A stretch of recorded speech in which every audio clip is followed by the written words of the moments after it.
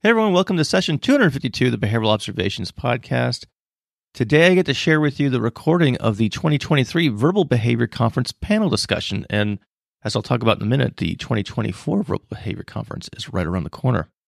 But in this panel discussion, the participants were Troy Fry, Drs. Lina Slim, Sam Bergmann, Sarah Frampton, Einar Ingvarsson, Pat McGreevy, and Andresa de Sousa. And the voice at both the beginning and the end of the panel is none other than Kelle Rich, who founded and currently leads these great conferences. In this Q&A segment, we talked about a whole host of topics, but we really talked a lot about AAC and considerations moving from vocal verbal speech to AAC. We talked about how to deal with limited resources, limited therapeutic time. So we talked about the high abandonment rate of AAC devices. There was some discussion about clinical judgment and adapting clinical strategies to varying cultural contexts. And at the end of the episode, there was a really interesting kind of unanticipated segment uh, that came about when a participant asked about the role of singing versus speaking. And that, again, was really fascinating. And that's towards the end of the episode. As you'll hear in this podcast, when you attend the Verbal Behavior Conference, you'll have numerous opportunities to ask the speakers questions. And not just in the panel itself, if you're there in person in Austin, Texas, you'll very likely have the opportunity to have direct interactions with the speakers between talks while grabbing coffee and so on. What strikes me as unique about these events is that they are purposely small and intimate so that one can have these very types of experiences. So, what's in store for the 2024 Verbal Behavior Conference? Well, first, the conference itself takes place on February 29th and March 1st and it's preceded by a full day workshop from the incomparable Dr. Lina Slim on February 28th. This year's conference speakers include Doctors Barbara Esch, Ed Blakely, Mirela Cengher, fan favorite Pat McGreevy, Alice Shillingsburg, and Hank Schlinger, whom we heard from a few episodes ago. If you can't make it in person, don't worry. Behavior Live has you covered. Nobody does virtual events like Behavior Live, and they will broadcast the entire conference with best in class audio and video production. Before we get to this episode, I do want to let you know that we're brought to you today by the University of Cincinnati's Masters in ABA program. This program is 100% online and asynchronous, so that means you log on when it works for you. If you want to learn more, go to online.uc.edu and click the request info button. And last but not least, if you want to earn BACB approved continuing education units while listening to your favorite behavioral observations episodes, go to behavioralobservations.com forward slash get CEUs to see the shows that are available for continuing ed. Whether it's supervision, ethics, functional assessment, or other topics, there's something there for just about everyone. All right, that's it for opening remarks. Without any further delay, let's get to the 2023 Verbal Behavior Conference panel discussion.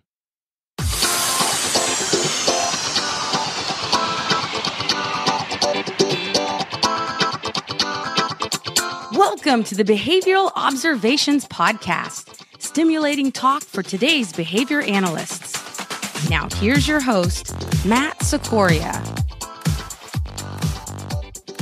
And we are ready to start our panel discussion with Matt Cicoria uh, as our moderator. Moderator, again, please, for those of you that are live with us, I have a mic and I can walk around to you and you can ask your questions.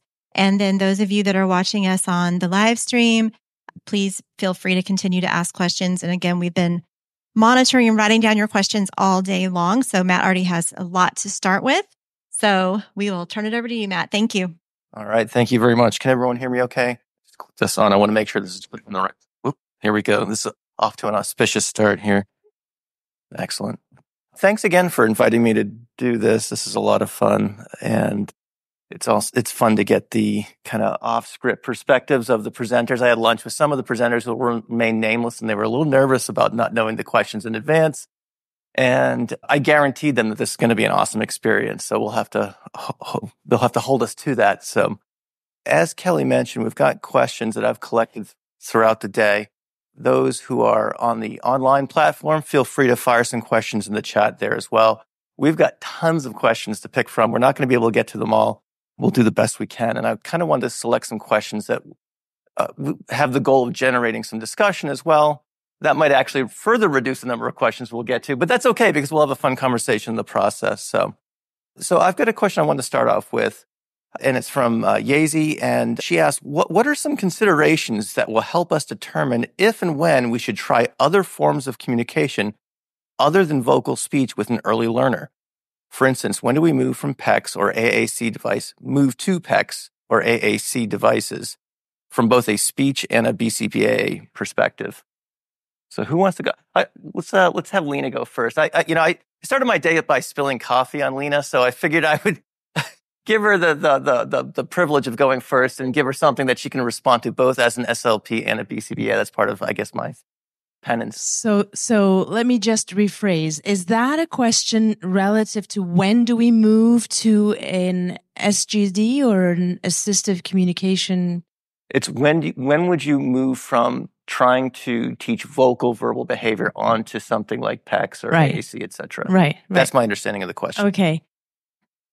I would not give up vocal training or attempt to evoke any vocal output. I mean, vocalization is, is really important to try most of our instructional practices in order to make that voice and uh, come out. It's really understanding where to start and it can start with anybody young or not so young. So it's not only for very young learners.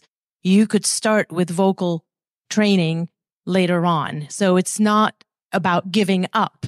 I think it's about continuing on your speech training while implementing other functional communication in order to increase those opportunities for contacting social contingencies, social reinforcement, social environments so that again, you are actually encouraging, not only encouraging, you're setting the stage for practice, for learning opportunities across environments, for social engagements.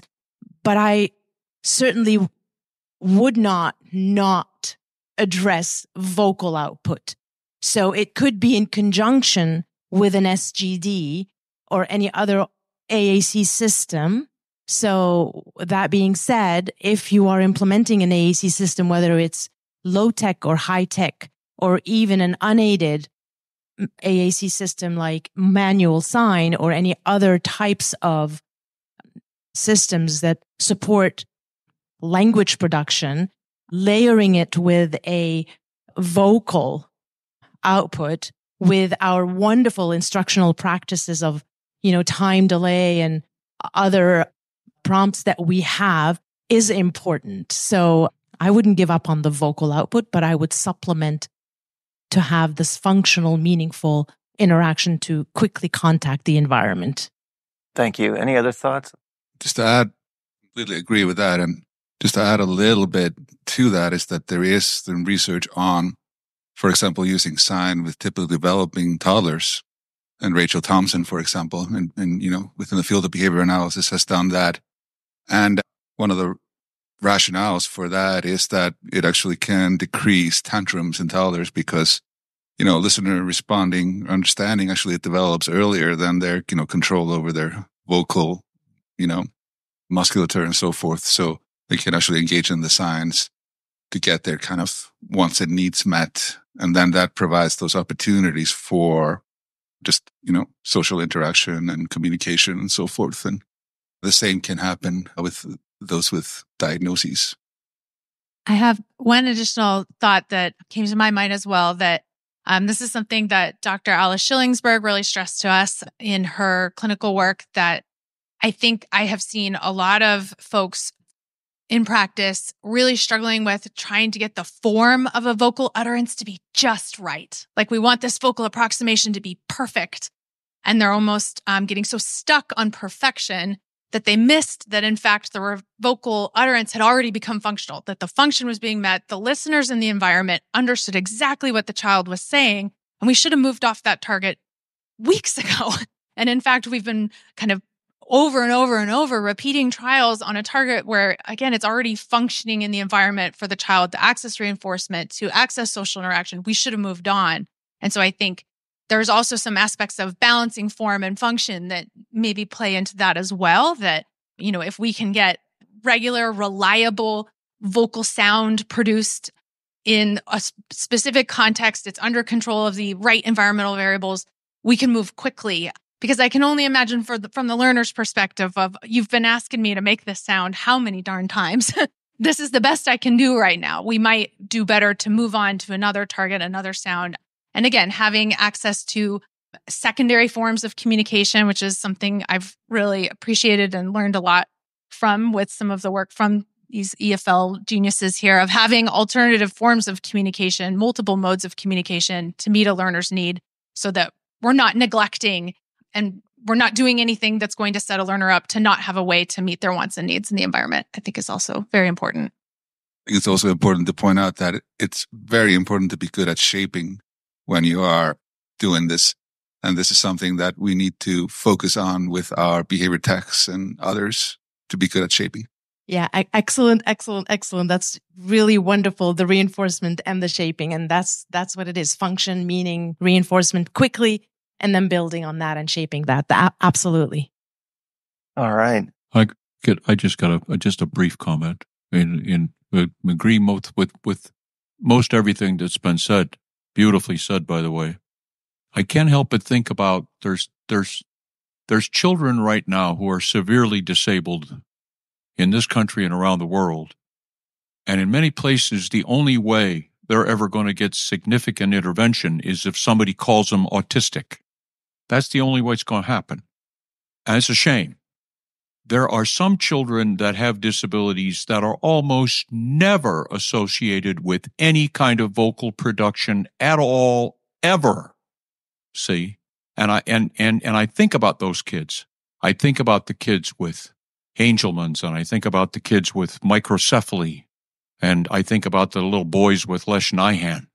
I think about those kids and, and I'm all for doing as much vocal production as is physically possible, but uh, I don't want that to give people a false hope, a hope that, that, that the chances are this is possible, but almost never. So and I, I appreciate that, but, but I also, you just, I just feel like you have to be sensitive to what people's expectations are. And, and I like the fact that it's not a yes or no. It's not either we do this or we do that. And we don't suggest that in Essential for Living. You can stay with, try to get vocal productions long. But if you're looking at a 15 or 16 year old child that you've been at this since they were three or four or five, then all the, all that we would say is put put more of your energies into into an, an, another functional way. The other thing to consider is just the problem behavior and and and where that fits in and the effort to manage and navigate that where that tends to occur when they don't have an effective way or the effective or what's being expected is more effortful not necessarily so just being sensitive to that because oftentimes that becomes where we have a you know, maybe a, a more, I don't know, focus, think again, kind of what we should be doing and, and, and what we need to be doing to solve for that while we stay curious with some other things. Yeah. Just, can you hear, can you hear me?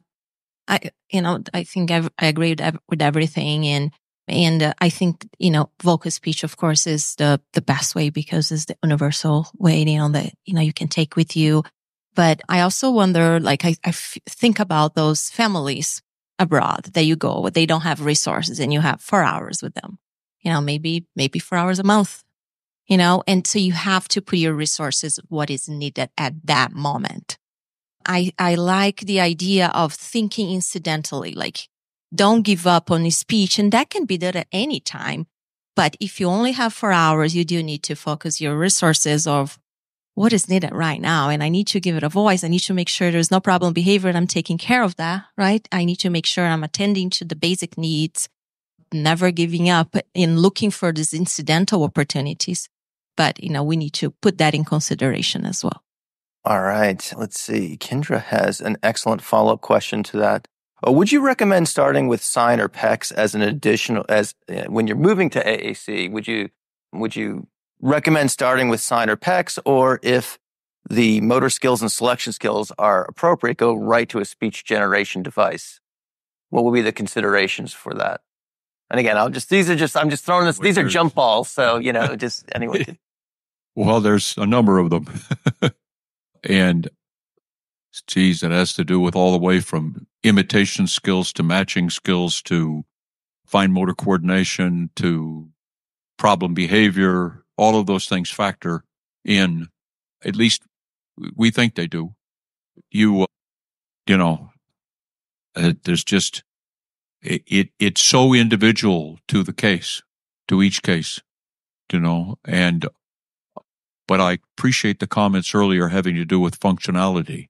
I want to, we want to get, see, I've resisted over the years these terms receptive and expressive communication as if they're two sides of the same coin, almost assuming that you, you get one, you get the other. Well, we, we, we all know that's not, that, that's not the case. You can get one and not have the other at all or on a very limited basis.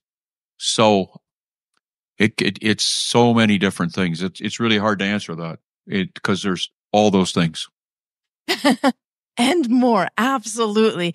So there's also the learner's specific preference in addition to all those other areas that you've mentioned. Absolutely. And there are the cultural values of the families, the resources available to the families, their, their, again, ability to, not ability, their norms, whether they're accepting of those support systems or not. So there are layers and layers of considerations when deciding. Of course, what we as behavior analysts and practitioners might think is the best for a child, an individual, a learner may not be the best for that person within the environment and the culture that they live within and within the medical support and medical condition or support system, political system, educational system. So these questions are awesome, but they remind us, much like the question before, that we have a framework of understanding of what we might need to do under circumstances,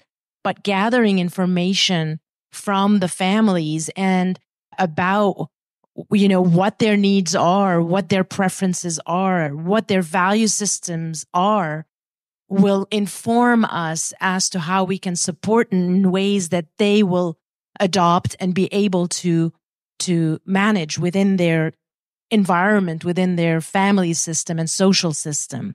So these are excellent questions. We have a lot of answers but it my my answer is always it depends. General discrimination. I think with all of these considerations in mind are very important. If practitioners are looking for a resource that might help them identify maybe if teaching signs or going to something with the selection base like PECS, Amber Valentino and Linda LeBlanc and some other colleagues that I can't remember from the citation did publish a study that looked at kind of prerequisite skills. And it sounds like maybe this question asker, Matt, had an idea of some of those things with like imitation and selection responses. But there is a great resource out there to help practitioners maybe identify what might be best based on the learner's incoming skills or what skills you might want to work on if you would like to based on what the verbal community might be most likely to reinforce, what resources the family and the providers have, kind of different learner preferences if you would like to move towards something more like an AAC or towards sign or uh, focusing on vocal production. I'd recommend that study by Valentino et al. Um, and I can provide a link to that if Matt needs it for y'all. So that's something that practitioners might found, find useful to help guide some decision making. Oh, Matt, one one more brief thing. Sure. Uh, I can't cite any any specific data on this, but years and years of experience of chatting with speech and language pathologists, there is a very high abandonment rate of alternative methods of speaking and almost every speech and language pathologist you talk about who has extensive experience will say that. That, that many times the methods that we give people are later abandoned for any number of different reasons. But that's just an important issue too in all of this. I was actually just looking this up yesterday and I forgot to mention it in my talk. But the lowball estimate is about 30%. I think it's probably higher than that. I was going to reference as well that I think as one consideration that I don't know that I hear talked about enough when we're also making these decisions about, you know, which direction do we go with which modality for the mand is really also taking a look at what some folks have referred to as indicating responses or behavioral indications of motivation, or I, I think Vince Carbone calls it the declaration of motivation, which I, that's catchy. But a lot of times, what we're talking about, what, what folks are referring to there are often types of gestures that might be occurring or hand leading or how approach behaviors occur. So all of these behaviors that are often referred to also as pre-linguistic that but these are behaviors that they have function. And when you ask folks how do how does this individual tell you what they want right now? Oftentimes these are things they'll report is that oh when they need this they'll grab your hand and they'll lead you over here. When they want that they'll point at it i had a parent once tell me that at the end of a session he said oh my son i think he really likes you and i was like oh great this is awesome he's how did you know and he said well he didn't flick his ear at you and i said what ear flick had become the accepted way of communicating rejection in their home. It was an idiosyncratic indicating response. It had been shaped and reinforced in that home community. Ear flick meant don't want it.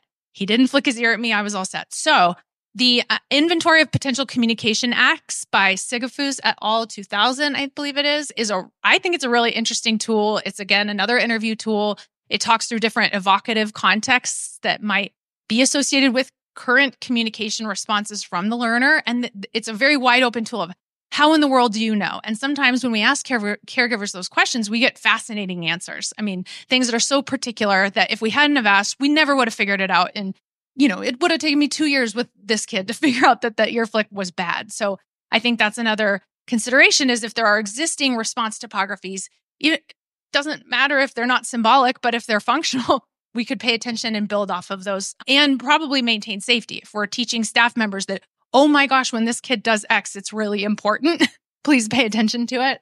That could also help us in this journey. Yeah, I, I, I feel kind of shameless talking about chapter six in Essential for Living. And not that it's complete. We're, that's very much the chapter that is, is, is the, the, the biggest for the reasons that you mentioned. There's, there's, there's, there is indicating there is taking, there is leading, there is pointing, there is other things. And what we tried to do is not only indicate what could be occurring, but the limitations of it and what you may be solving for now, but what the limitations of it are in the absence of familiarity and, and, and, and people who are interpreting for you to some to that degree. But just the whole thing, the behavior, the sensory, the skill, because if you got a very active learner and you're trying to say two or three things what would you want him to say or he to say if you were doing that? I think the issue is it depends. I think this is a, I think the issue for us would be there is clinical judgment here. There is analysis that needs to be done. And I think if somebody suggested if it was no vocal, you go to PECS first and then you go to sign second, that would be wrong. That next step has to be carefully considered and, and, and, and you need to make your case. You need to have your evidence and then go about testing that method to make sure that you don't end up with something that, you know, might be something different. And, and again, have some humility around what you're trying to solve for and what you don't know. All right, great. I just want to remind folks that if you guys uh, are taking lots of questions from Team Virtual, so Team in person, you're welcome to ask questions. I saw, I did see a hand up earlier. It went back down. Kelle can come, come to the microphone. All right, great. I, I just want to add that I'm on the chat. We've got Barb Esch chiming in. We've got Tamara Kasper. This is a hot topic. Oh this is awesome. Hey everyone, I just want to let you know that if you're liking what you're hearing thus far, sign up for the conference. The 2024 version of the Verbal Behavior Conference uh, is shaping up to be a really great event. And you'll have the opportunity to ask the panelists the types of questions and have the types of interactions that you're hearing right now. So go check that out. Go to behaviorlive.com forward slash VBC to learn how to sign up. And it doesn't matter whether you're there in person in Austin or online, it, will be a fun experience. I also want to just make a note to thank our sponsors, the University of Cincinnati Online. Uh, go check out their Masters in Education and ABA program.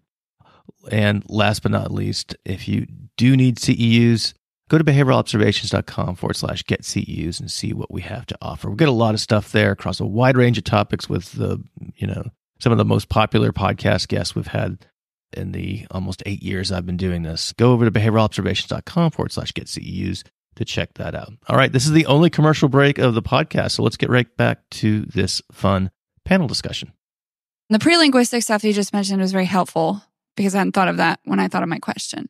But what would be your recommendation maybe for resources or what to do when you have a client who is not showing progress in sign, PECS, LAMP, point, doesn't have the fine motor skills for more complex signs, no vocalizations. I just emailed his speech therapist, asked him about a history of echoics because I haven't seen any progress. So, what would be your thoughts on that? Very limited reinforcer selection as well. I would maybe ask how, what does the individual do right now if there's a strong MO in place for something? He does, he does the pre-linguistic. He'll lead and sometimes gesture. So that was helpful. I think I just need to go from there. But as far as going from there, I mean, one of the simplest things you can do is like, have you ever heard of a Big Mac button? That's Mhm. basically just one button that says help or something like that. That could be a good start. That could Okay. just kind of be served to get that individual in touch with the contingencies Sure. of doing something like that to, to get reinforcement. I like that. Thank you. I've also found we've clinically conducted some protocols where we've worked on making those hand leading, pointing, reaching repertoires just a little more sophisticated as, you know, shape requiring a bit more shaping to make them more durable. Um, and it might be things like securing the attention of a listener might be useful as well, because if I'm pointing at something, but nobody's looking at me, I'm not going to get what I'm pointing at. But if I've learned how to approach someone who looks available, tap them on the shoulder, lead them to what I want to point, there might be some of those other connecting behaviors that make those less recognizable responses more salient in the environment as well. I I would start much you know start where the the child is at and follow the the lead and pair yourself systematically as a reinforcer in the environment and slowly establish that contingent response to you in, in the presence of that child and then reinforce immediately systematically by shaping and and adding to that the the the approach behaviors the look the orienting the the lead all of those are there already. I think what might be not well established at this point is this rein this this uh, the the uh, people us being reinforcing in that environment. And so i think it's important to start where the child is a- approach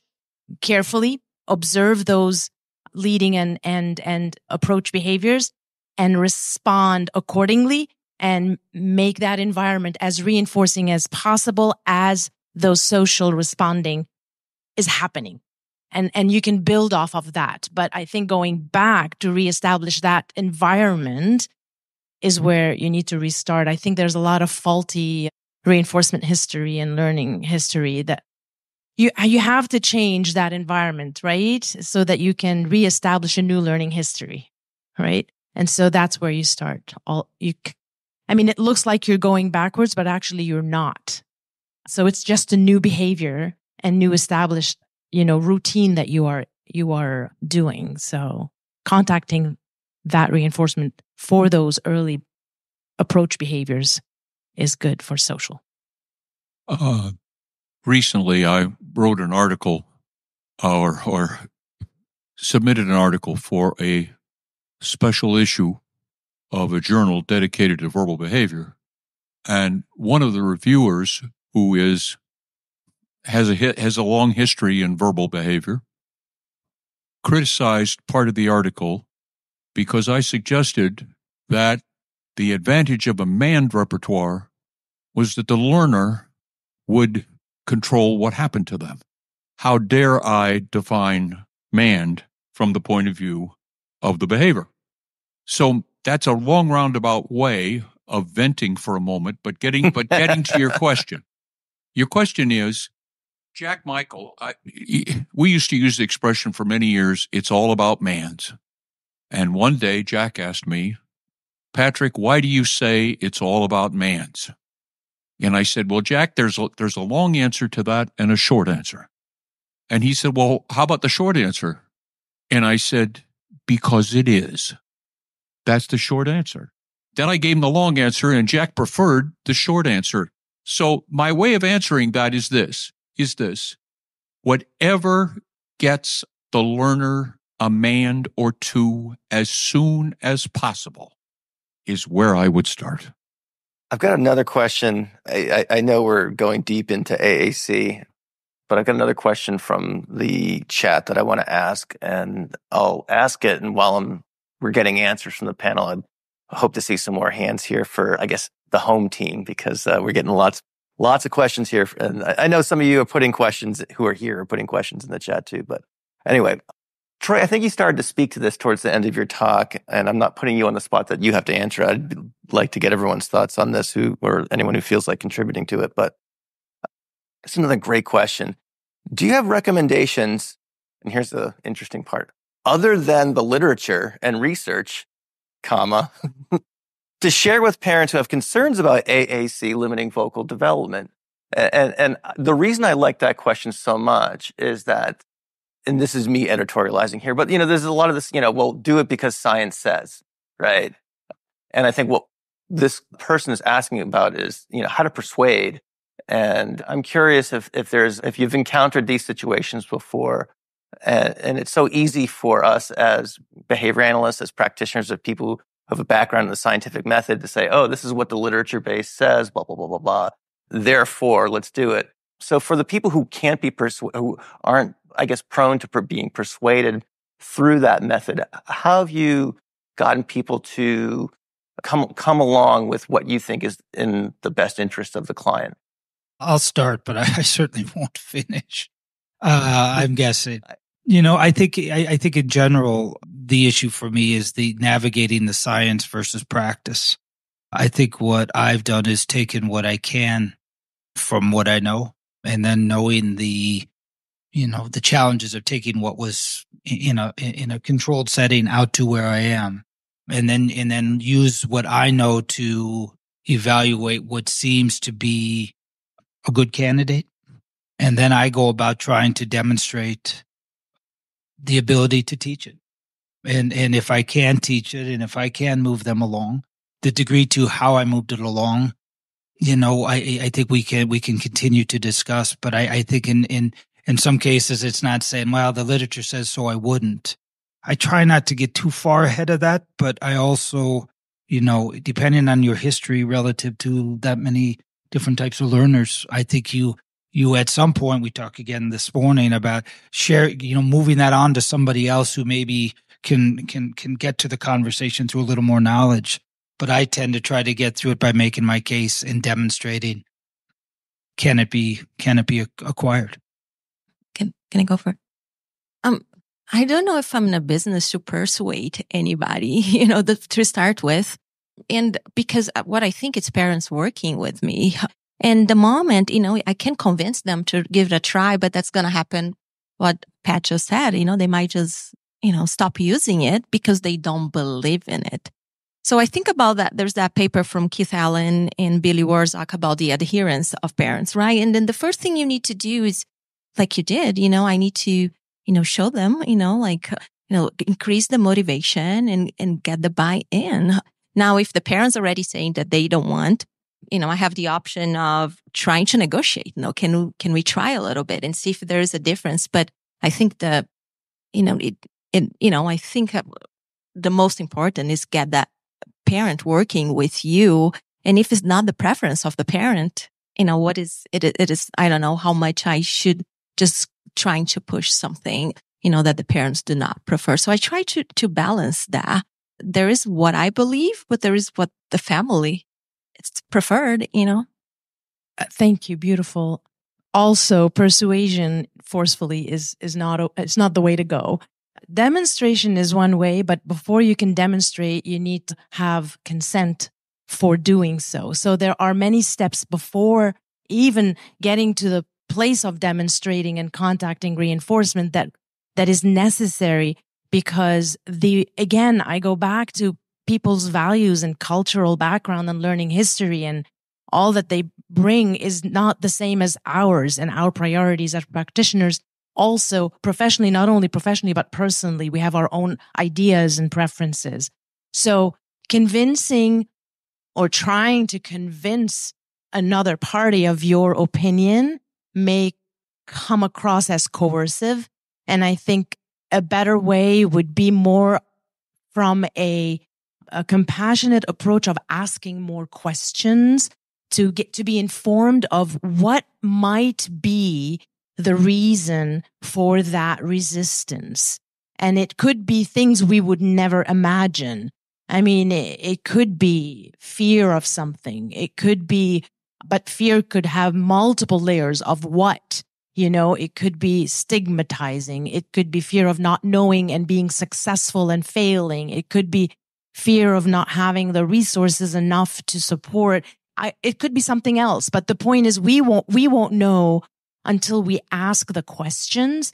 And the questions are asked not so that we can grab onto the information and match it to what we believe. It's more to be informed as to what it is from their assumptions and perceptions and then figure out through our analysis and observation and data collected to kind of say, what do you feel comfortable doing first? And, and beyond that, saying, what is it that you want your child to be doing? What's your priority? And then moving from there, scaling back and negotiating in a way that is more offering uh, a reciprocal support. So there are, there are multiple steps and layers and efforts from us to be doing before we can even get to the demonstration and contacting reinforcement. But once we get this, oh, I'll I'll pick one small step. Let do you feel comfortable doing this so I can show you? And once they say yes, and then demonstrating and then having them contacted and then giving that reinforcement because they see the outcome immediately happening, then they're going to grab and you can grab onto them. And then they're like, tell me more, give me more. So, and just in response to that, I, I agree. And, and I, I, think thanks for putting that in front of what I suggested. That's the kind of stuff in the Adam Grant book, by example.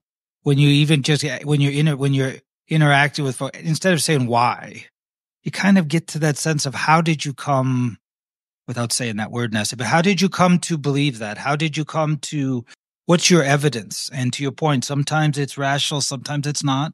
Sometimes it's history, sometimes it's what somebody said, and they're not that committed to it once they have the opportunity to not be questioned or threatened, but have the opportunity to actually, you know, try to unpack, you know, how they did come to have such a strong conviction to go one way or the other.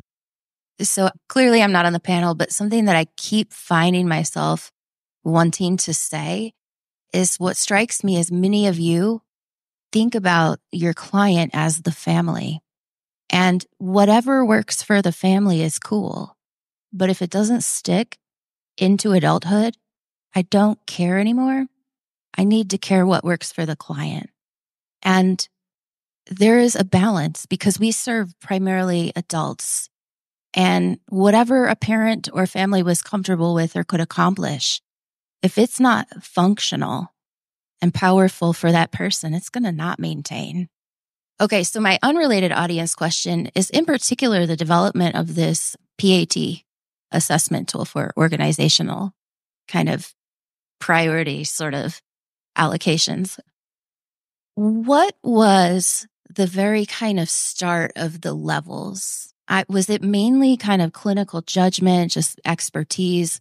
I imagine there was an observational step where you were kind of looking at these are kind of the different, you know, the levels, right? The level systems. These are kind of what we tend to see when a when a situation is not having the resources, you know, it needs, or when a, a system is, is needing to be tuned up, right? So a red system, right, was categorized by a couple of different factors. And then the same thing with, you know, yellow and green. I wonder where that came from initially was like, what, how did you go about setting those levels? because they become a big aspect of your measurement. Did you just kind of take data on a big population and kind of kind of just see where that fell? If you could talk about that aspect of your analysis.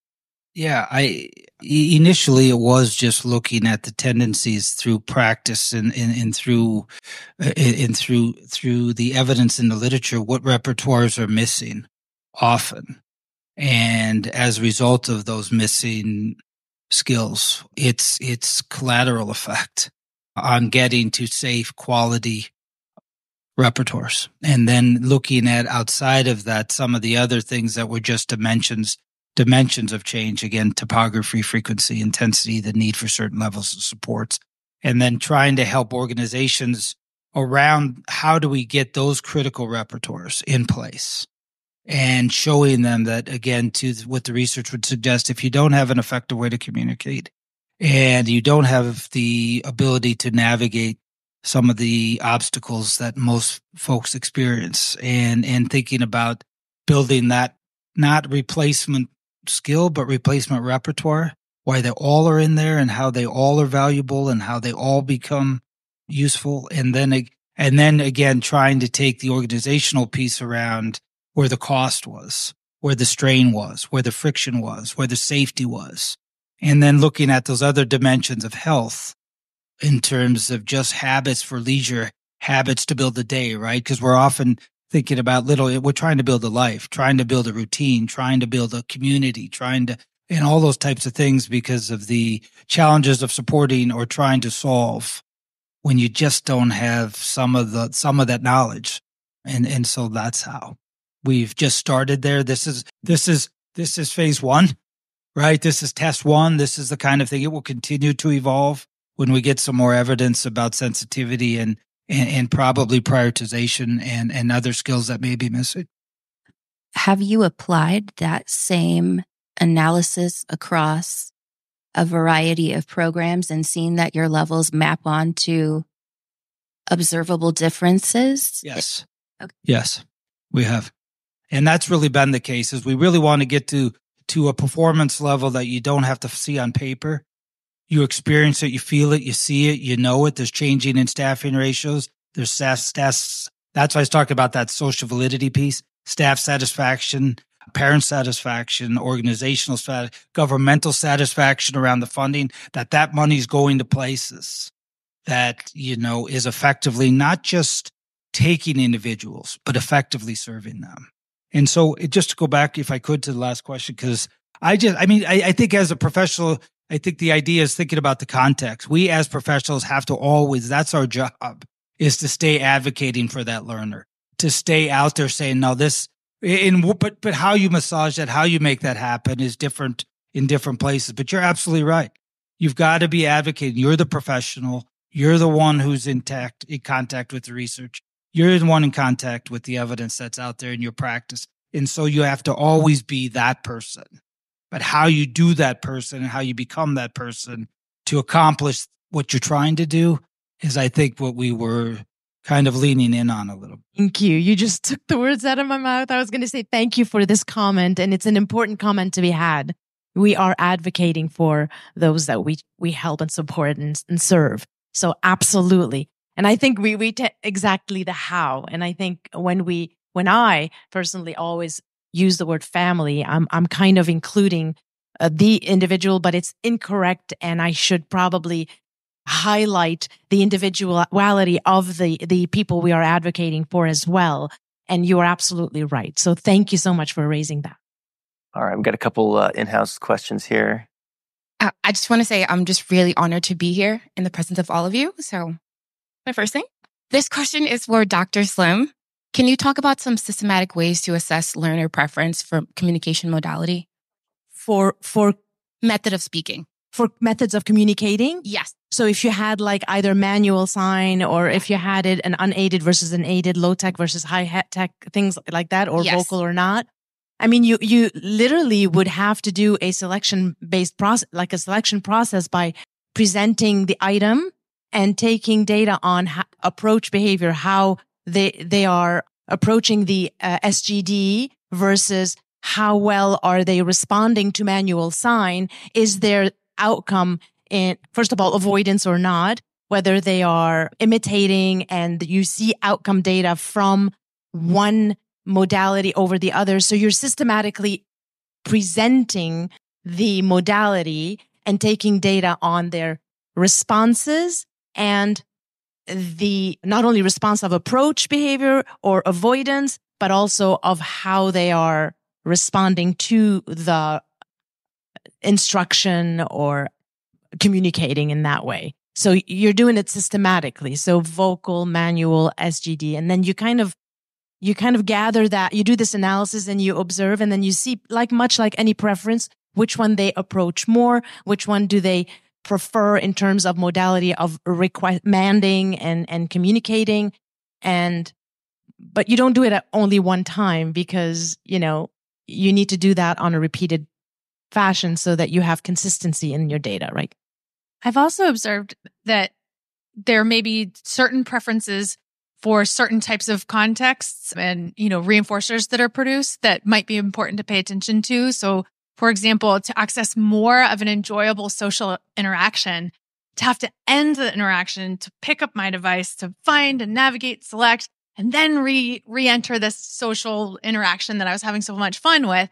For some learners, they may not prefer that, but to access a tangible at snack time, they're all about using their device. So I think we can also pay attention to the type of establishing operations that we're assessing in the presence of, because that might make a difference. And even just some of those contextual factors that if, if we're playing tag on the playground and I have to go play tag and carry around a heavy device in order to communicate with a peer, that that might detract from my enjoyment of playground time. So I think we could also you know, I think we tend to analyze sometimes these preferences under very tightly controlled table based conditions because they're oh so convenient for us.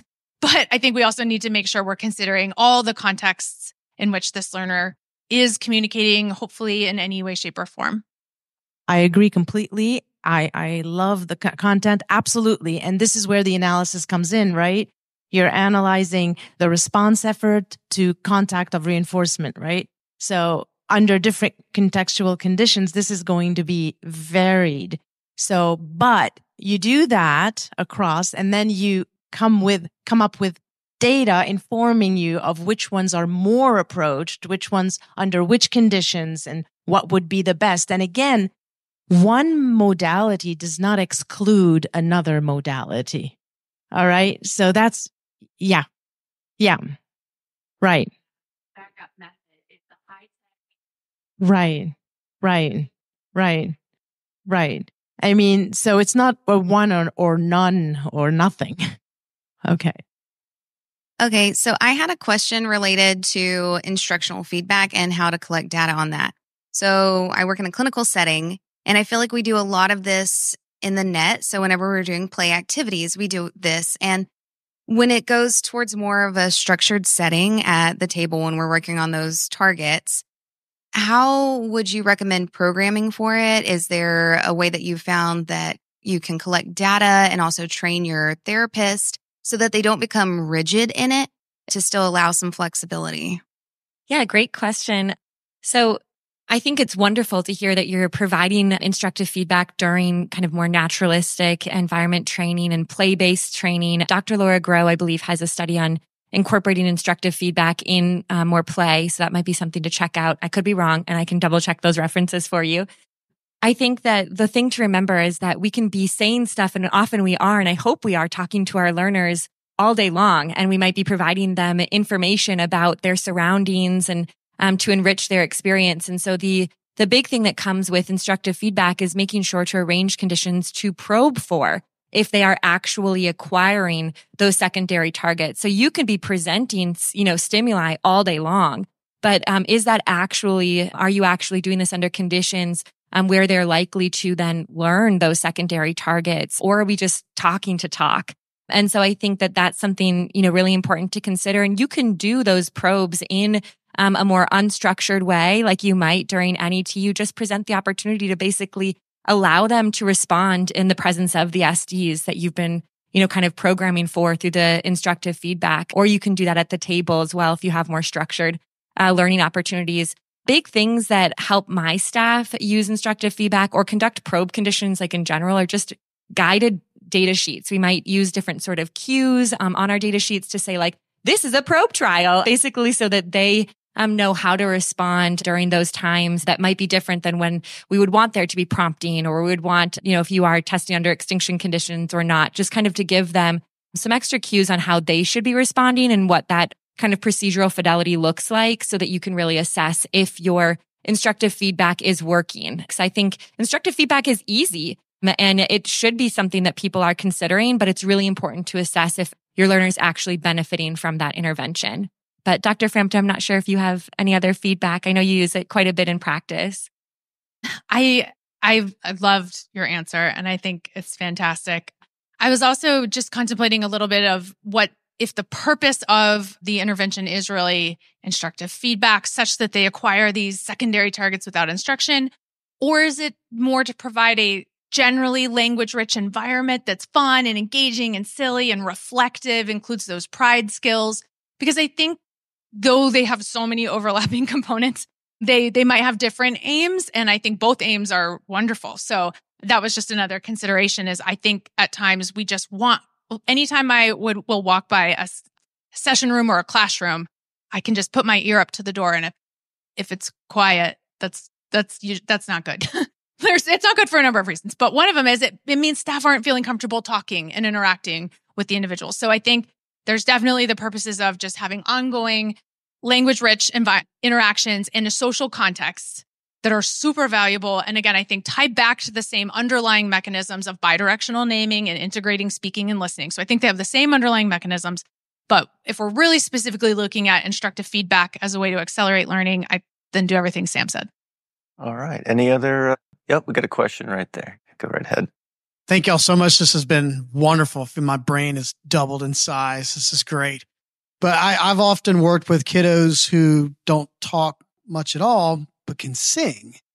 You ever used any kind of singing, like may not be able to speak, but, but know the words to let it go? So any brainstorming on how to maybe transfer that to functional language or verbal behavior?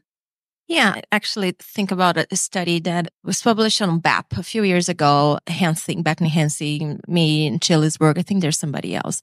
Um, but so it, it was the case of a of client who had speech, intelligible speech scripting, but would not, we could couldn't get that over con- control.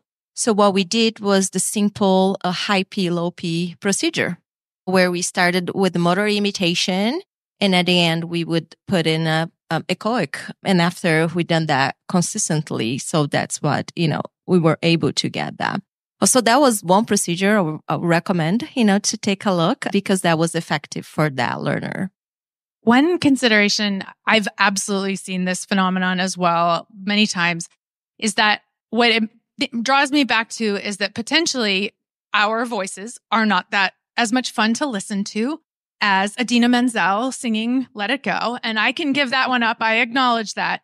But it makes me think perhaps we need to find environmental sounds and stimuli that are more already paired with reinforcement for this learner that that already have undergone the type of stimulus stimulus pairing or they're automatically already just more fun to listen to and that we might actually kind of start there and see if we can even pull kind of actually just start there. I know I've worked with some clients that are adolescents and we were looking at intraverbal fill-ins and everybody on, you know, told us they're like, oh, they don't have any intraverbals. And I was like, wait, what's their favorite song? They're like, Drake. And they listed like Drake playlist.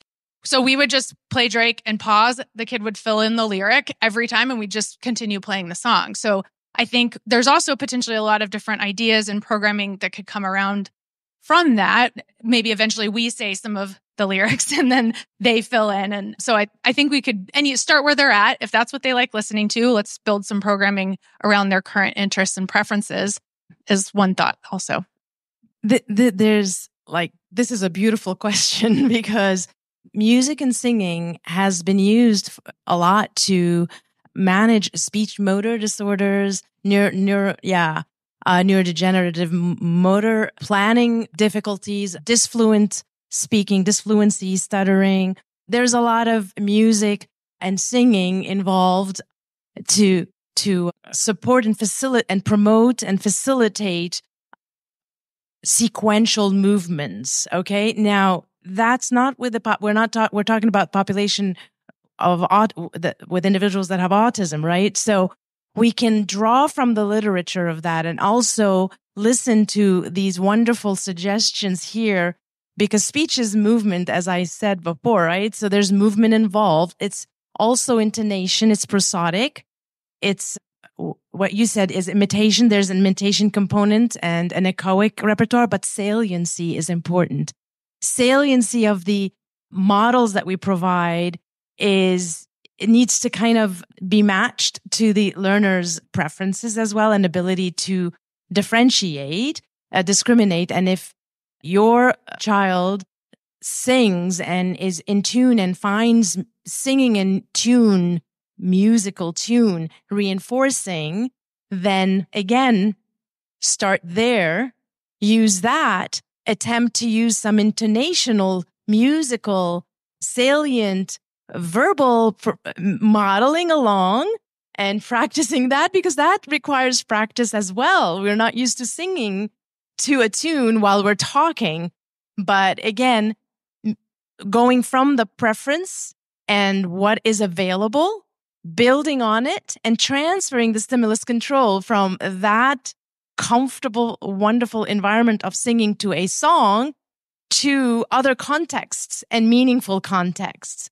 So you can do that transfer by using all those skills of imitation, uh, echoic response established, followed by using our models with salient modalities and and joining in. So we you can do that. But but it is on us as well to join and to change possibly some of the saliencies of how we present our vocal presence and modality. All right. Well, I think oh, all right, Danielle, this is going to be quick. And panelists, is going to be a quick answer. We've got two minutes left here. I was about to do the psychotherapist thing. Well, that's the end of our time here. But uh, let's see if we can do this really fast, guys. Okay. I think it has maybe come up in the chat too. But in the conversation of topography based versus selection based, and a lot of the recent research in the use of either echoics, self echoics, autoclitic frames, all of these things that require internal speaker behavior, how do you account for those things being mediated by a selection based communication system? So either the echoic behavior and bidirectional naming or multiple step listen responding tasks that you would use that echoic behavior for. How, how do we account for, sorry, how do we account for what being mediated? The, uh, the process of what we might lay call remembering things. So processing them through your self echoic repertoire when you don't have a speaker behavior. Yeah, I don't, I'm not, I'm not sure we have the research that to show that to what extent that occurs or doesn't occur. I would also say that just in general, even though research has shown that speaker behavior, topography based behavior facilitates some of those performances, at least to me, it has not been shown that that's the only way that those performances can happen. You know, I think it's possible that you, you could show some of those selection based responses actually mediating other selection based responses. And I don't know, is there, is there research like that? Well, I, I think it's the, it's the, the, it's the essence of, of joint control in, in, in, in the sense that joint control where you could in Essential for Living, we call it the difference between a recognition and a retrieval. If you, if somebody says, where's the cup? And you can point it on at the table, it's a, response you can complete very quickly. But if you have to go across the room and get a cup, or worse yet, go across the room and get a cup and put it in the sink, now, now there's, there's probably some kind of joint control involved in order to do that successfully. There has to be a way that you can mediate your own listener response. At least we think. At least we think. And, and it's been shown that you can do it with a spoken word that becomes a self-echoic, that becomes a private event. In other words, people around you wouldn't necessarily hear it. And it's been shown that you can do it with a sign. That you that you could that you can mediate your own listener response with a sign. It seems reasonable that it could be done with a picture too, although I have to admit I don't know whether that's ever been shown. I, I really don't. I don't know. I'll be answer to that. talking about problem solving tomorrow, and I have some connections to some Okay. different modalities, Okay. but not fully. All right. but what I a, think it's what, a great. what a professional way to tee up tomorrow's talks. So I'm going to have to draw it to a close here because people have places to be and whatnot. So thank you very much, guys. And thanks for the opportunity for me to ask other people's questions. It's always a treat. Thank you. Thank you, Matt. Thank you, panel. Thank you, everybody.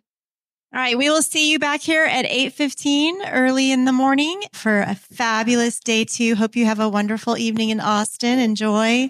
And we'll see you in the morning. Be sure you scan out because you get credit for the panel as well.